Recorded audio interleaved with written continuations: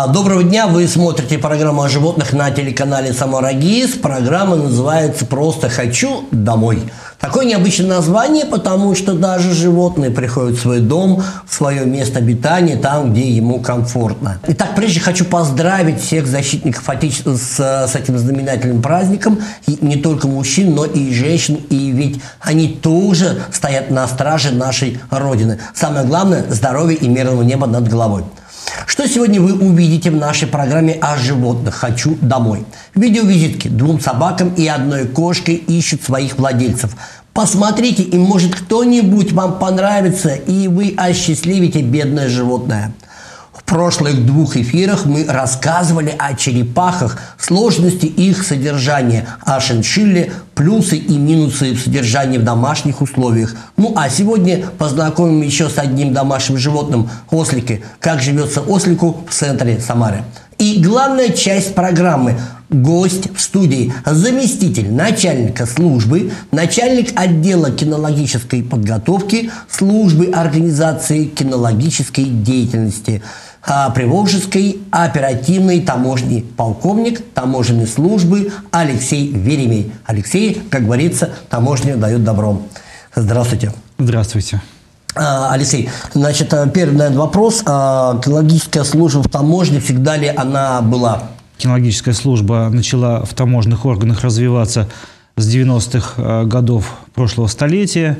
Интенсивное развитие, э, начиная с 92 года, получила развитие кинологической службы Дальневосточного таможенного управления. И в дальнейшем э, кинологические службы э, получили развитие и в других управлениях уже. В дальнейшем первый кинологический центр в таможне создается в 2003 году. Он существует и до сих пор.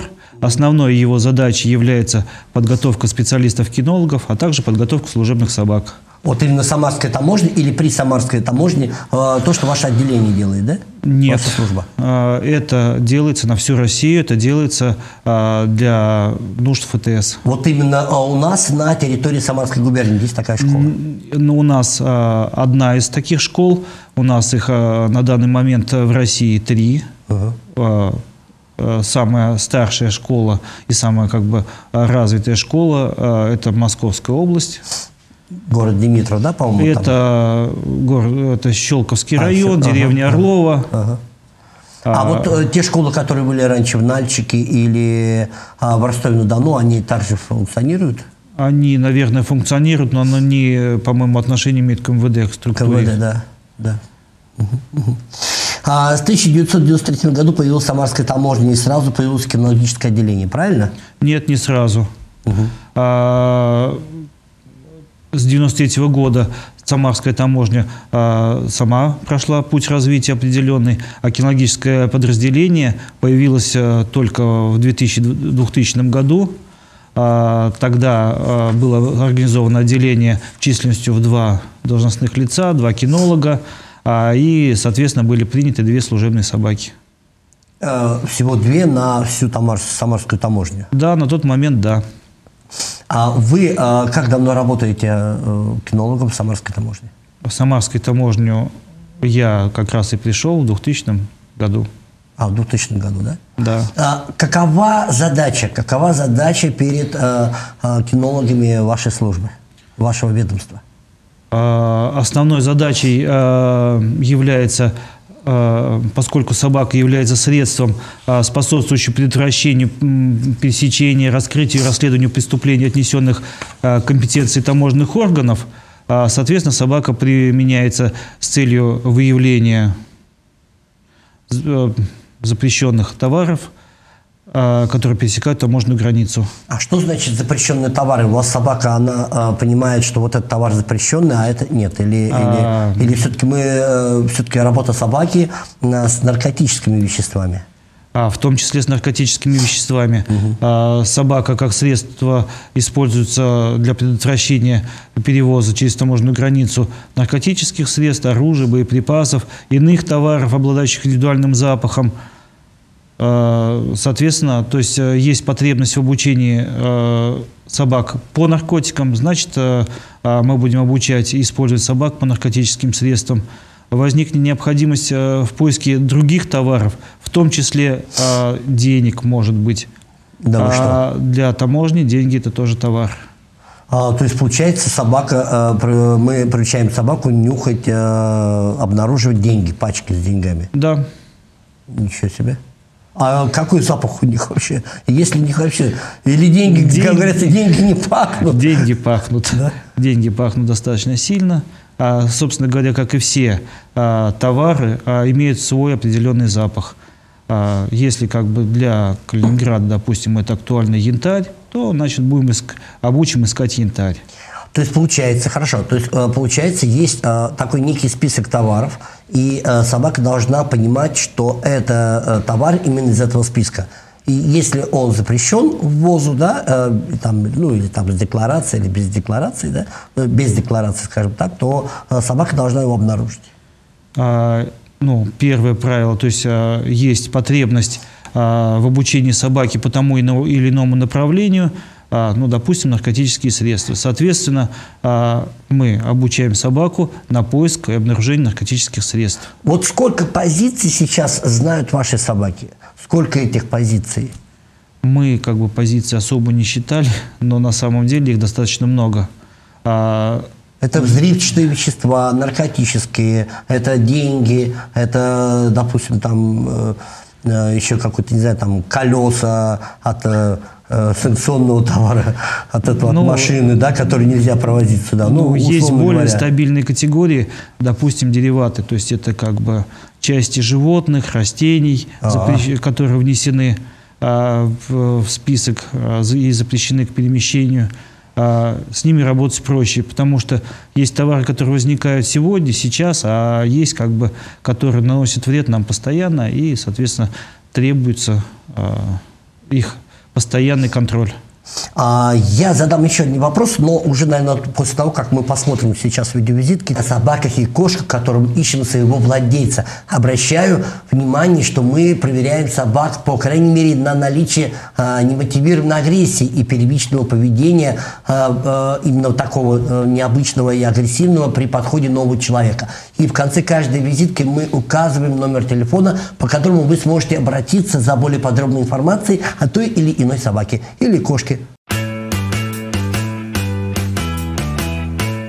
Итак, в программе «Хочу домой» в рубрике «Видеовизитки» мы показываем собак и кошек, которым ищем своих владельцев. Мы проверяем собак на социальную безопасность и отсутствие агрессии к новым людям, что позволяет пристроить собак в хорошие руки и в дальнейшем получать удовольствие от общения с новым четвероногим другом. Перед нами Линда, э, и кажется, что эта собака перекормленная, так сказать, толстая и жирненькая, но нет, на самом деле она имеет просто широкий э, костюм костяк, а, жира у нее не так много, можно прощупать а, ребрышки, а, просто вот сама по себе такая вот широкая талия, такая широкая комплекция, по которой можно, в общем-то, с первого взгляда сказать, что собака имеет избыточный вес. Ну, на самом деле это не так. Вот такая замечательная собака и ждет своего нового хозяина. Обратите внимание на Линду и заберите ее домой. Через два месяца она станет самым верным четвероногим другом. Обращаться по телефону 8 927 701 36 38.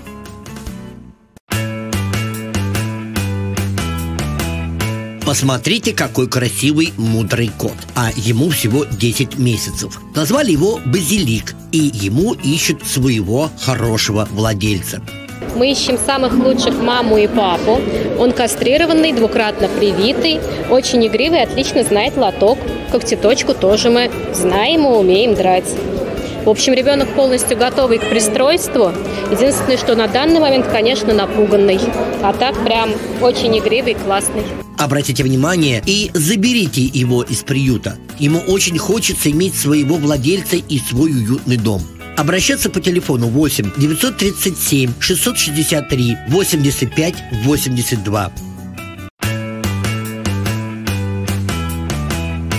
Весьма активная по характеру собака, особенно когда видит или стоит рядом с новым человеком. Нужно немножко времени, чтобы она успокоилась, а лучше немного походить с ней на занятия. Зовут ее Луна, ей около двух лет. Нашли на улице подбитую после столкновения с автомобилем. Ее подлечили, стерилизовали и сейчас и ищут своего ответственного, доброго владельца. Обращаться по телефону 8 927 701 36 38.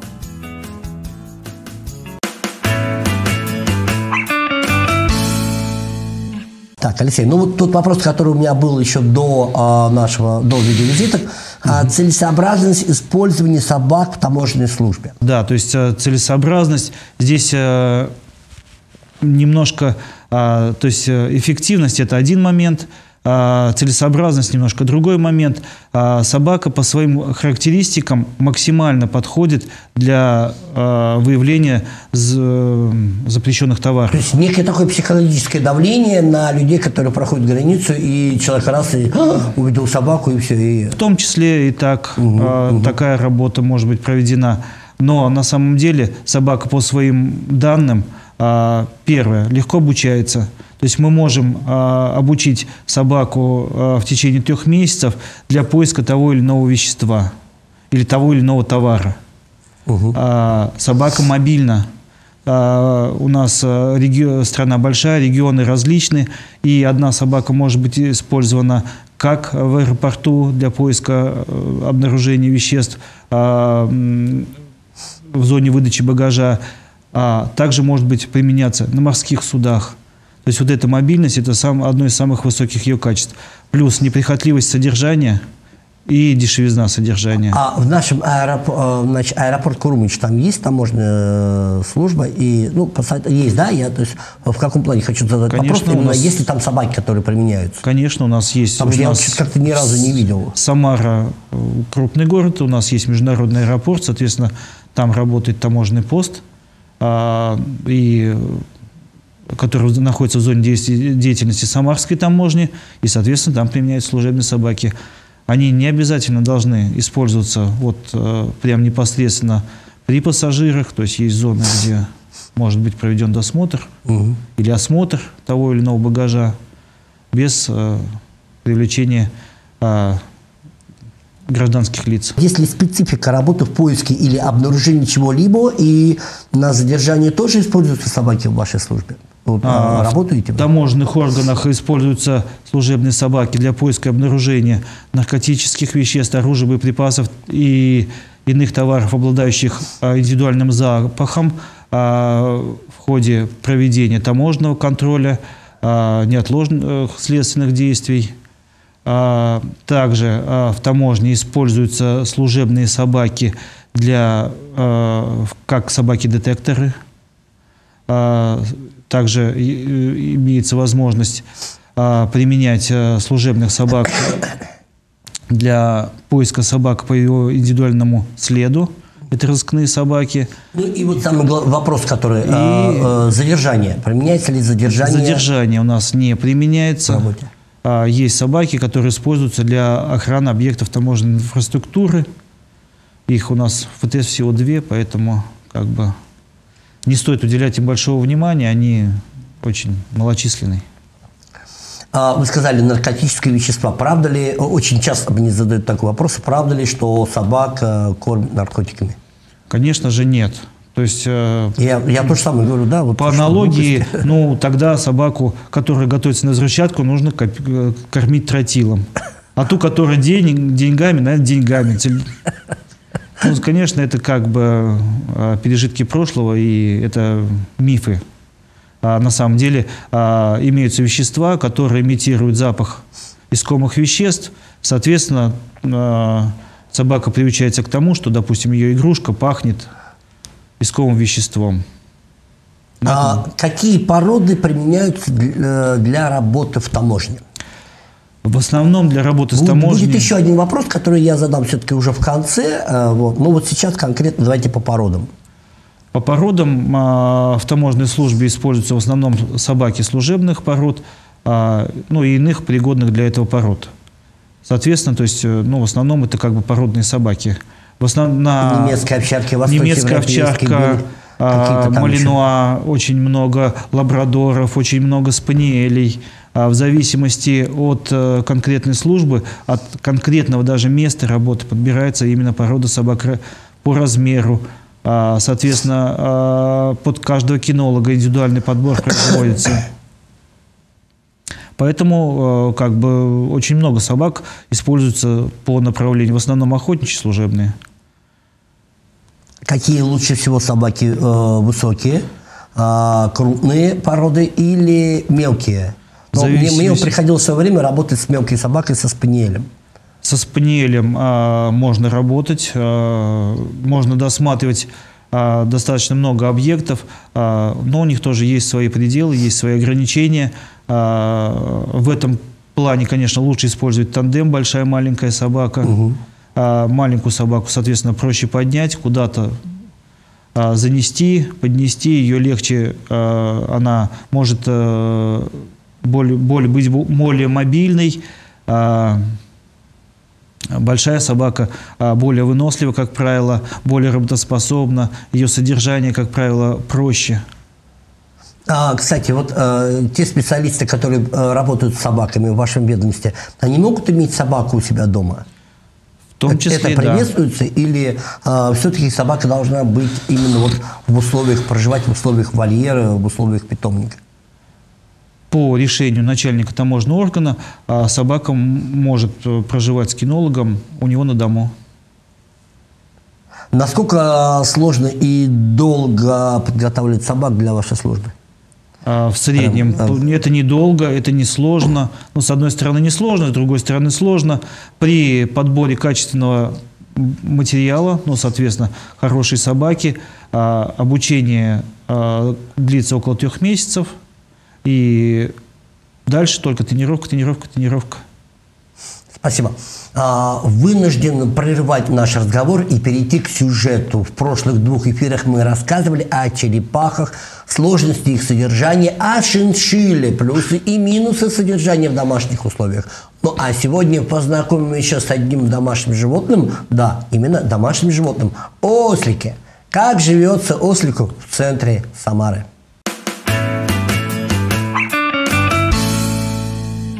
Ослик Шурик живет почти в центре Самары на станции Юнатов. Так раньше называли это место внешкольного образования, а сейчас это Самарский эколого-биологический центр. После его открытия с начала 90-х годов поселили сюда ослика, который жил и приносил радость всем детям, так как был очень добрым и контактным животным. Но он состарился и выбыл из жизни. Больше года домик старого ослика пустовал. Долго подбирали замену. Но однажды одна из организаций, помогающая детскому центру, нашла подходящего ослика и привезла в центр. Сейчас Шурику 4 года. Он еще строптив и весел от юности. Воспитанием и дрессировкой занимается педагог дополнительного образования детского центра Наталья Иванова. Его нам подарили. Ему сейчас три с половиной года, ну уже весной будет четыре. четыре. Вот. Мне он достался в полудиком состоянии. На нем никто не ездил, и мало кто с ним занимался. Вот. Ну вот за полгода мы с ним очень хорошо подружились. Э, сейчас мы уже полтора года с ним вместе. Я его сама объездила. Ну и вот, э, как дрессируется, вы сегодня наблюдали а наблюдали то, что редко увидишь даже в цирке. Но очень знаком этот прием в кинологической среде. Команда рядом. И самое главное, ослик Шурик любит приносить предметы, брошенные его наставницей. В кинологии этот прием называется апорт – подноска предмета. Удивляются люди и даже местные кошки, смотрящие из окна соседнего дома. И на первый взгляд кажется, что дрессировка проходит без проблем и труда. Успех в дрессировке возможен только при хорошем контакте и знании описании характера любого животного. Шурик обладает уникальным характером. Он очень любознательный, он очень э, умный, естественно. Но могу сказать, что в чем-то и злопамятный. То есть, кто его обидит не по делу, он это запоминает, и потом будут последствия. Вот. Я его, конечно, тоже наказываю, но если по делу, он это понимает и абсолютно адекватно воспринимает. Сейчас ослик находится в стадии обучения, а точнее объезда. Чтобы в дальнейшем на нем можно было катать детей, его приучают спокойно относиться к их крику, активному поведению, брать мягкое лакомство из рук детей. А как э, вообще к посторонним людям он относится? Вы наблюдали сегодня э, с любопытством и доброжелательностью. Что Ждет сухарики. Из, из еды? Ну, я его угощаю обычно сухариками. Они как бы самые диетические для него. Ну, без проблем можно угощать морковкой, яблочками, немножко капустки давать, сахарочек. В основном ослы быстро привязываются к своему хозяину, узнают его и бегут, завидев его. Однако в качестве домашнего животного заводить стоит только в условиях подготовленных для содержания. А это конюшни или коровники с вольерами и местом для выгула. В Средней Азии ослики до сих пор являются тягловой силой и помогают людям в хозяйстве.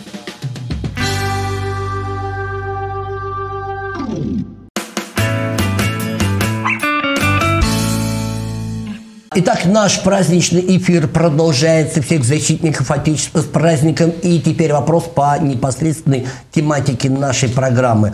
Очень много бродячих собак, которые э, перебегаются по городу. Кто-то локально они, а, ну, какая-то стая, она оседлая, она э, живет в одном месте. Есть все-таки такие бродячие, которые реально передвигаются с одной, с одной точки в другую.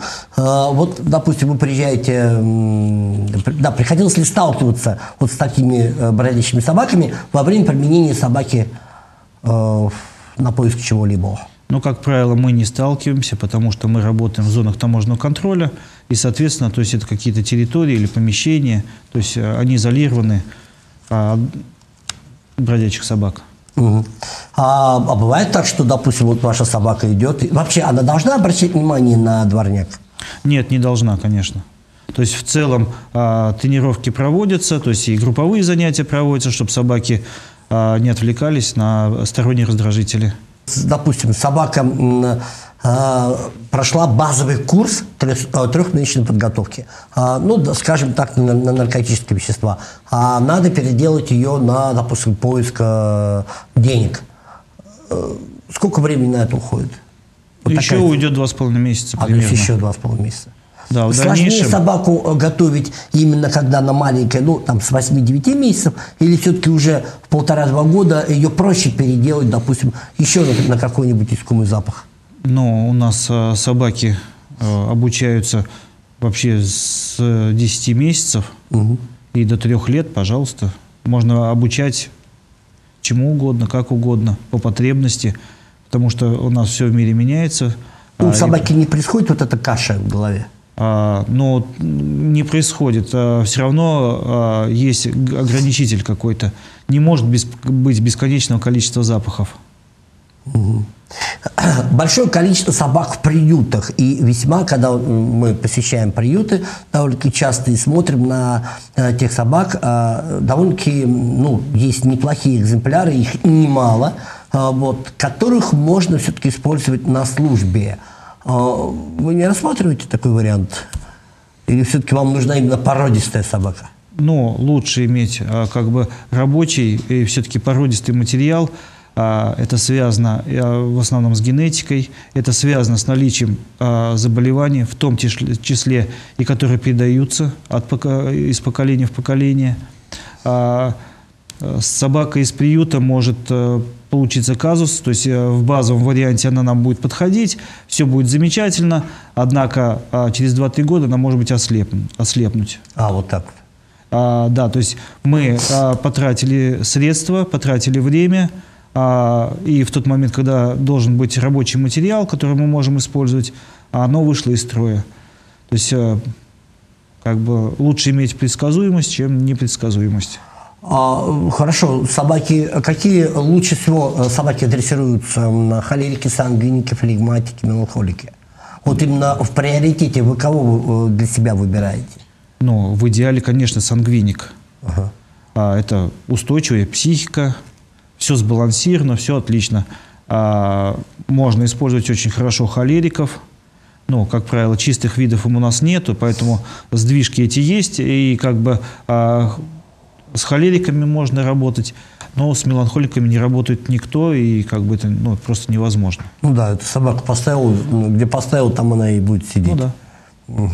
Ей А- неинтересно жить даже.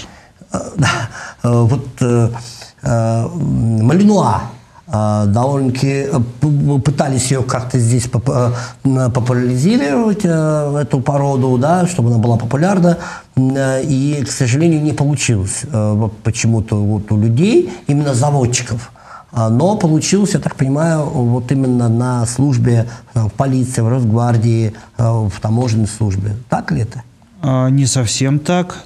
Это хорошая собака для хорошего, сильного кинолога. Очень много мы смотрим видеороликов, где э, показано, как Малинуа прыгает, как она э, там на высоту, в, на дальность и так далее. Да, сейчас как бы пор- порода ну, в таможне достаточно распространена, а, практически во всех регионах она есть. А, Однако есть тоже проблемы с ее воспитанием, а, с ее использованием. А какие проблемы? А, Но в том числе не исключена агрессия. А, давай То что? есть, э, да, собаки а, достаточно подвижны, а, достаточно сложны в воспитании.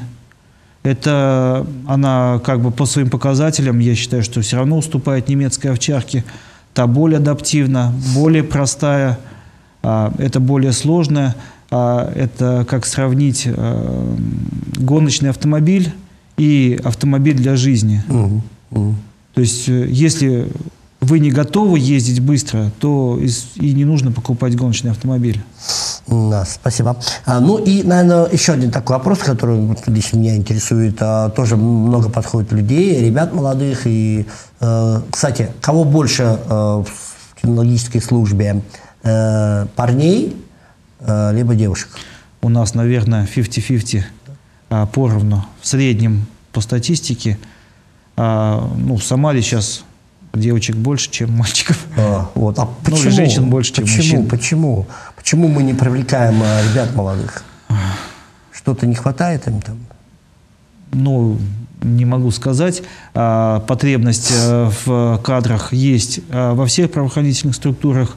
А, У нас, э, пожалуйста, приходите, научим, поможем. Вот, вот, последний вопрос. Как стать кинологом? Куда можно пойти учиться?